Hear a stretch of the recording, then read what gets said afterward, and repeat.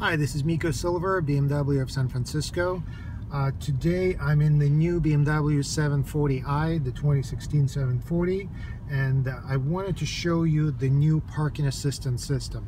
Um, this system, these functions will be available in other uh, models as well, starting from 2016, uh, such as the 3 Series and up and the main thing is that first of all the uh, parallel parking is similar or pretty much the same as what was offered on the BMW i3 meaning the car parks itself it, it goes to drive and reverse by itself so you don't need to shift it you just hold the button. And also this car will offer perpendicular parking we just tested it once and we're going to attempt to do this in the video. So first of all we're in the back alley and I'm going to try to do parallel parking so uh, for the system to work, I turned on the parking system. I made sure this is uh, checked, the parking assistance is checked. I'm gonna turn the signal so the car knows on which side I'm kind of trying to park. And I'm gonna drive by and see how the system reacts to the spots with that we pass. Okay, so recognize the spot it asks me, so it'll be parallel parking. Disclosure that I'm personally responsible. Okay, hands off the steering wheel, hold the PDC button, release the brake.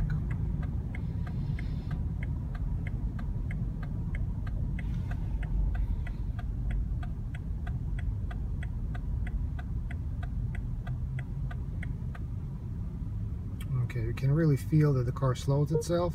This is a very long car so it's got, should go back and forth.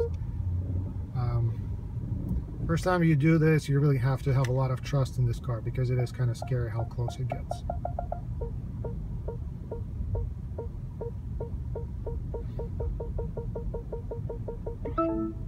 Done.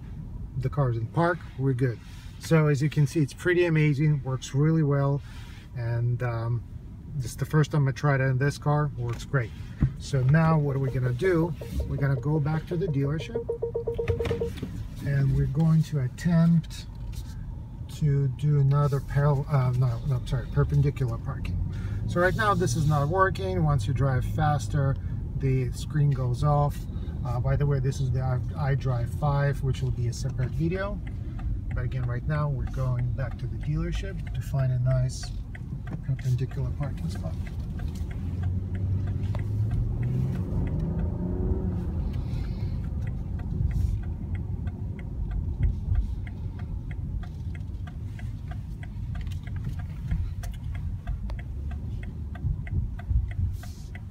Okay, so there was a spot, pretty tight spot before. I hope it's still available. It looks like it is well there are two spots. One of them is available. So again I'm turning the system on the PDC I'm gonna show the car which side I want to park on which would be the left side right now. I'm driving past the spot. Okay so it recognized it. Okay I'm gonna, I'm gonna let this guy get through. All right and again I push the button take my foot off the brake. You can kind of feel in the brake when it's ready. And again, this was the scary part. First time we did this, it's kind of unnerving watch this car get really close. Alright, so it got pretty close, went to drive, steered itself, steers again.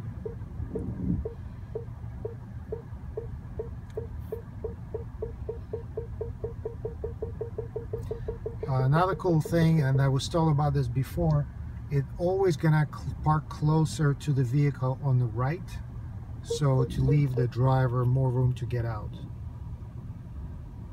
So I lost count, but I think it went back and forth like three times. And now it's gonna go back really close again. And it's secured against rolling.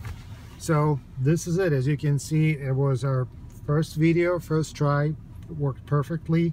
Uh, the system is pretty amazing and again it's going to be offered um, it always trickles down so from 7 series it's going to be available on the other cars as well. Thanks for watching.